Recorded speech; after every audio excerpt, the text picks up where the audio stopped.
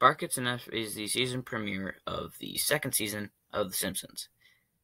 Now, in the summer of 1990, Fox announced that The Simpsons will now be airing on Thursday nights alongside The Cosby Show.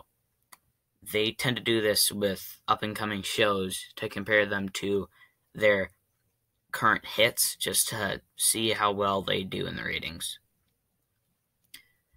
And the media dubbed this Bart versus Bill.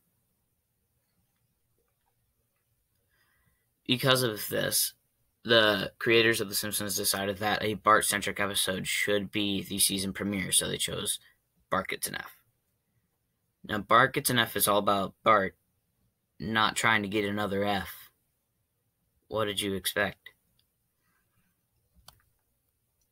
Um, this is the first time that we see Bart actually trying in school and studying, and he even asks Martin to help him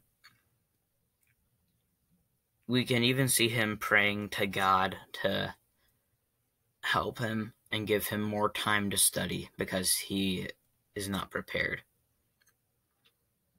This is also the first time that we see Miss Krabappel actually show some sort of sympathy towards Bart, as when he shows his knowledge of the test she marks his grade up one point and he passes.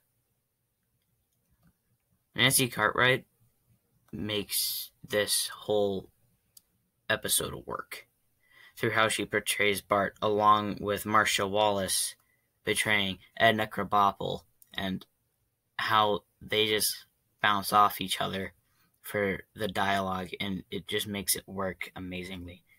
And the whole snow scene is one of the best looking scenes in The Simpsons, in my opinion. I mean, it's just amazing. Go back and watch it.